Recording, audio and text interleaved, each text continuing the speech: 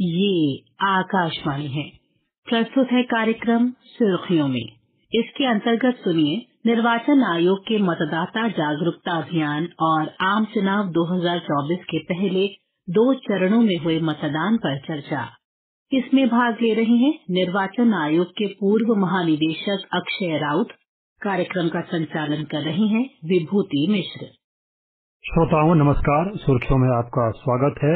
आम चुनाव 2024 के पहले दो चरणों में हुए मतदान और चुनाव आयोग द्वारा मतदाता जागरूकता अभियान पर हम चर्चा कर रहे हैं और हमारे साथ खास मेहमान हैं अक्षय राउत ये पूर्व डीजी हैं चुनाव आयोग के।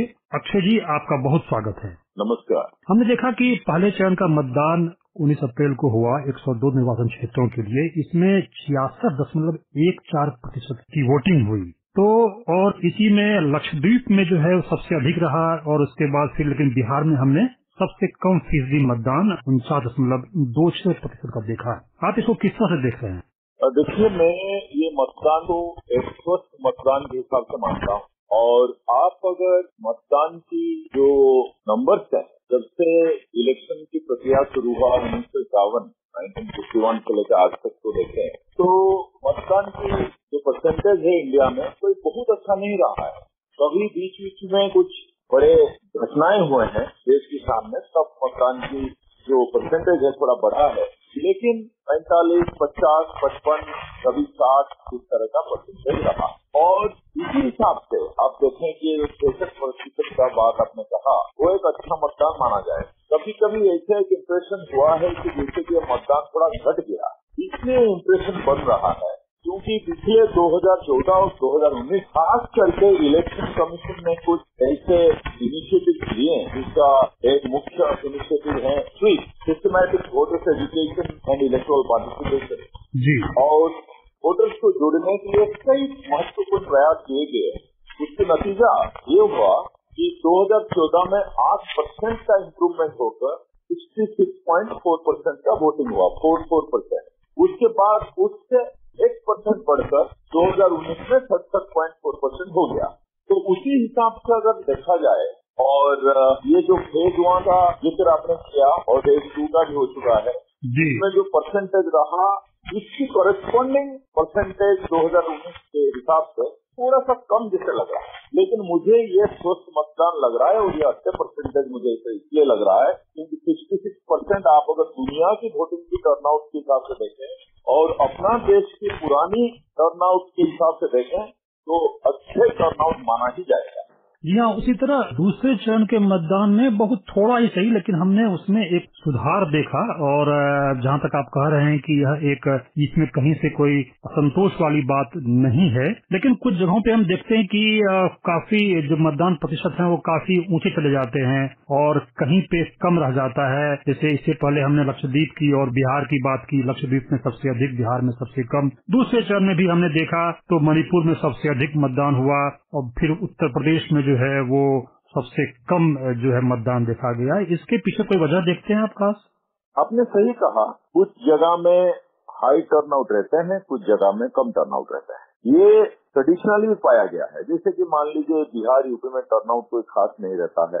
थोड़ी सी इम्प्रूव होने का ज़रूर चांस है। और इस बार इलेक्शन में भी ये दिखा गया है। और महाराष्ट्र और राजस्थान में भी दिक्कत रहे हैं। कुछ स्टेट ट्रेडिशनली हाई टर्नआउट रहते हैं। जैसे कि नॉर्थ ईस्ट का काफ़ी सारे स्टेट रहते हैं। आपने लक्षद्वीप वगैरह का ज़िक्र किया, वहाँ भी रहता है। आप, जैसे कि वेस्ट बंगाल वगैरह में भी काफ़ी टर्नआउट अच्छा रहता है। हिमाचल में टर्नआउट ये छत्तीसगढ़ में टर्नआउट ये टर्नआउट कुछ जगह में अच्छा ही रहता है। लेकिन इलेक्शन कमीशन ने अभी एक टर्नआउट इम्प्लीमेंटेशन प्लान यानी कि टिप टीआईपी टिप बनाकर जो जो कॉन्स्टिट्यूएंसी में असेंबली सेगमेंट में डिस्ट्रिक्ट में जो एवरेज टर्नआउट के पीछे रहे हैं, वहाँ खास करके प्लान बनाया गया है कि वो कैसे पीछे नहीं कर, रहकर आगे उभर पाएँगे। वो इंतज़ाम हुआ है। लेकिन तरह तरह की चीज़ होता है एक तरह की देखिए वोटर का टर्नआउट जो है वो एक पॉलिटिकल कंटेस्टेशन का बात होता है। कैंपेन है। पॉलिटिकल एजेंडा कैसा है पार्टीज़ कैसे हैं कौन क्या करता है लोग कैसे उनकी बातों पर मानते हैं कि नहीं उसके बाद वोट करने आते हैं कि नहीं वो एक रह गया एक प्रक्रिया। दूसरा है पार्टिसिपेशन जो कि मैनेजमेंट का इंटरवेंशन होता है इलेक्शन कमीशन ऑफ़ इंडिया की तरफ़ से कि लोगों को सूचना सही तरह से मिले लोगों का मोटिवेशन या प्रेरणा। से रहे लोग मतदान देने के लिए उत्साहित रहें और सहूलियत मिले। पोलिंग स्टेशन में ठीक से सब बंदोबस्त हो, उनको वोटिंग कार्ड लेने के लिए इलेक्ट्रल रजिस्ट्रेशन के लिए डिफ़िकल्ट नहीं हो। पोलिंग का समय ठीक पर हो, जैसे गर्मी का आजकल बात चल रहा है तो गर्मी में उनको तकलीफ़ कम हो, ये सब सहूलियत की बात। ये सारे चीज़ जो है इलेक्शन कमीशन ऑफ़ इंडिया एक बहुत ही अच्छी तरीके से इन दिनों पिछले 10-15 साल से प्रयास कर रहा है और इस इलेक्शन में तो बहुत बढ़िया से किया जा रहा है। तो ये दोनों चीज़ को मिलाकर ही वोटिंग टर्नआउट होता है। जैसे मैं पॉलिटिक्स के बारे में कहा और ये प्रबंधन के बारे में कहा। तो प्रबंधन के बारे में पॉलिटिक्स के बारे में जो है उसके बारे में तो हम ज़्यादा बोल नहीं सकते हैं कि उनकी डोमेन की बात है लेकिन प्रबंधन के हिसाब से काफ़ी सारे तैयारियाँ होते हैं। फिर भी कोई कुछ स्टेट आगे रहते हैं कुछ स्टेट पीछे रहते हैं जैसे हमारे दो उदासीनता की बात हम करते हैं हमेशा। क्योंकि वो सच्चाई है, एक है हमारे यूथ हैं, जो 18 साल के ऊपर है, मान लीजिए तीस के नीचे हैं तो वो थोड़ा पीछे रह जाते हैं। वो इतना वोट में बढ़ चढ़ कर हिस्सा नहीं लेते हैं जैसे उनको लेना चाहिए मानकर कि वो देश के भविष्य है, ये सरकार बनाना और लोगों को चुनना उनका मेन एक काम है, जिम्मेवारी है, अधिकार है, ये पीछे रह जाते हैं। दूसरी है, जो शहर कि हमारे लोग हैं। हमारे शहरी लोग जो हैं अर्बन अपाथी एक रहता है कि भाई वो बातें तो अच्छे से कर लेते हैं। पॉलिटिक्स तो समझ ही लेते हैं। डिस्कस कर लेते हैं ड्राइंग रूम में बैठकर। लेकिन जब वोट देने की बात होता है तो शायद थोड़ा पीछे रह जाते हैं। और पोलिंग स्टेशन तक जाने के लिए उन्हें शायद तकलीफ़ होता है या सोच नहीं पाते हैं या वो ठीक नहीं समझते हैं। ये दोनों अपाथी को इलेक्शन कमीशन ऑफ़ इंडिया एक बहुत बड़ा सुनियोजित प्रक्रिया से इसको मुकाबला करने के लिए कोशिश कर रहा है और जिसके नतीजे आ ही रहे हैं। जिसे आपने जैसे अभी बताया सिक्सटी सिक्स परसेंट है टर्नआउट तो अच्छी टर्नआउट है। अगर वो एक दो परसेंट पिछले इलेक्शन से कम हो जाए तो इसे नहीं मानना चाहिए क्योंकि आपको ग्लोबली इंडिया के टर्नआउट लेवल ये लेवल जो है अपर मिडिल लेवल में ही आएगा। तो आपने राजनीति की बात की और कई सारे कारण होते हैं उदासीनता के। और एक बात आपने ये भी जो है कही है कि जो नई पीढ़ी है उसमें उस तरह का अवेयरनेस कई बार नहीं दिखता है। हम इस पे आएँगे। एक थोड़ी बहुत चर्चा कई बार मौसम को लेकर के होती है कि भाई बहुत गर्मी थी तो लोग बाहर नहीं निकल पाए। बाकी तो सुरक्षा वगैरह का तो कोई मसला अब तो दिखता नहीं है वैसा। आपको क्या लगता है? सुरक्षा की मसला कुछ है ही नहीं आज जी जी। एक जमाने में था बूथ आकर दबोच लेते है जो होते हैं वहाँ के मसल मसलमैन जो होते हैं या लॉ एंड ऑर्डर को अपने हाथ में ले जाते थे आज हाँ, वो पुरानी बात हो गई। गाँव को कब्जा कर लेते थे वोटिंग स्टेशन को कब्जा कर लेते थे पोलिंग स्टेशन को। वो तो रहा ही नहीं है। पोलिंग ईवीएम मशीन आ गया और लॉ एंड ऑर्डर को इतना बढ़िया इन्फोर्स किया जाता है और पहले से ही सशस्त्र जो लोगों को लगा के फोर्सेस को लगा के इतना सुरक्षित किया जाता है कि वो तो सवाल ही नहीं कि और कुछ यहाँ दबंगी हो या कुछ दूसरे तरह का दुर्घटना हो या किसी को ज़ोर से रोक दिया जाए या टोक दिया जाए ये नहीं होता है। लेकिन दूसरी बात आपने जो एक अभी मौसम।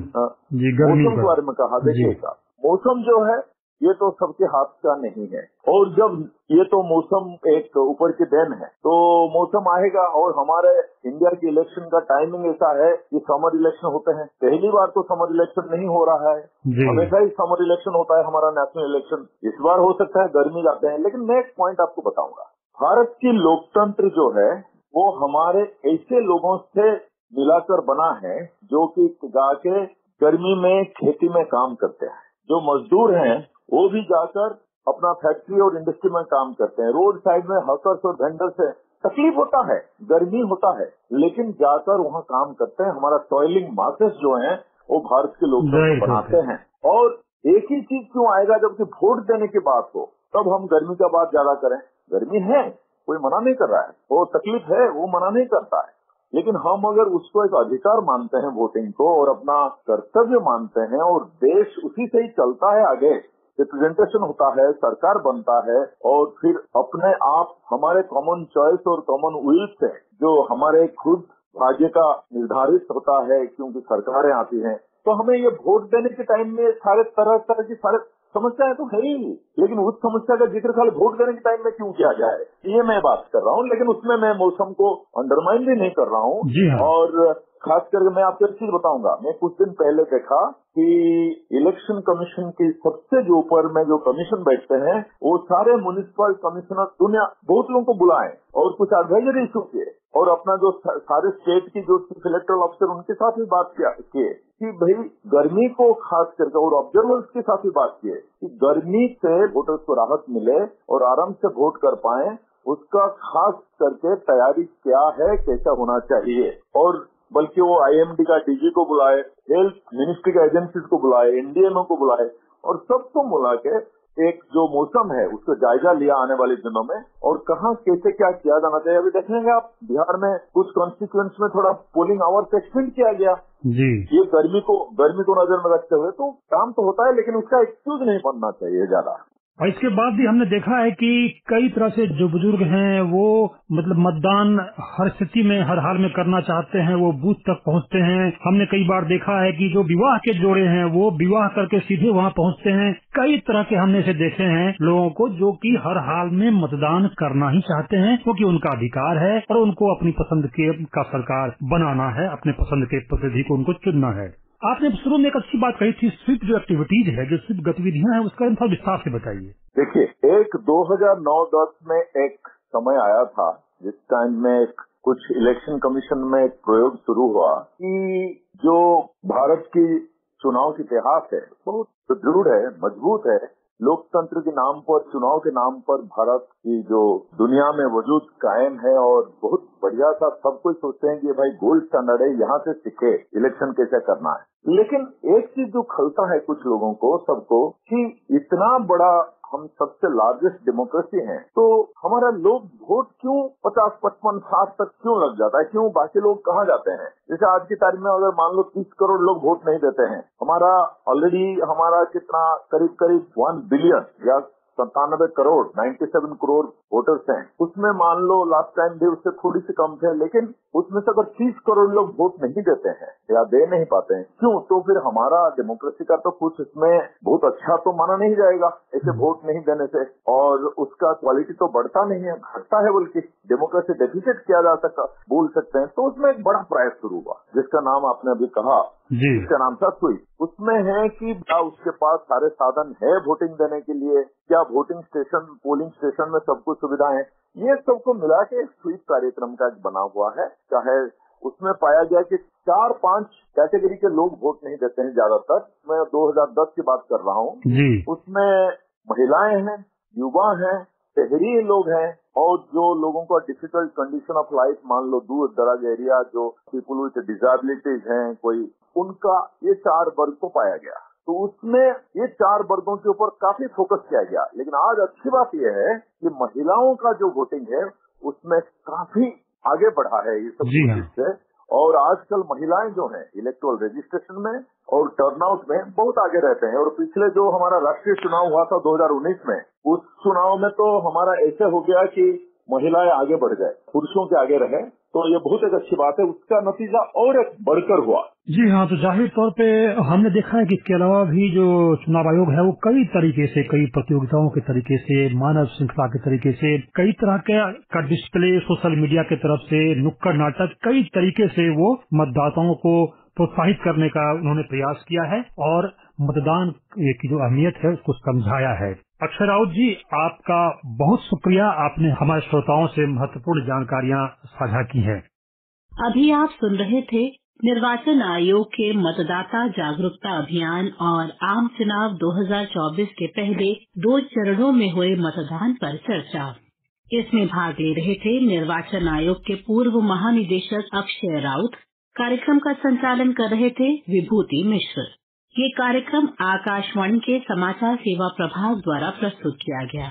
इसे आप हमारे mobile app, news on AIR और YouTube channel, news on AIR official पर भी सुन सकते हैं। इस कार्यक्रम के संबंध में अपनी प्रतिक्रिया आप हमें ईमेल या व्हाट्सएप के माध्यम से भेज सकते हैं। ईमेल का पता है A I R N S T talks at gmail dot com और व्हाट्सएप नंबर है नौ दो आठ नौ शून्य नौ चार शून्य चार चार।